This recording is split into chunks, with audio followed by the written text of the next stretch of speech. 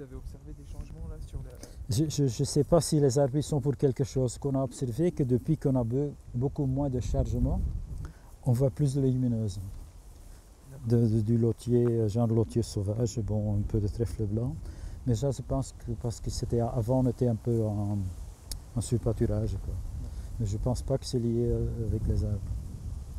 Par contre, le, donc les essais de, des périodes de, de, parasol, parasol ça oui, ben, ce que j'en ai retenu, c'est qu'ils ont constaté euh, euh, un effet sur la température dans les deux sens d'un degré et demi.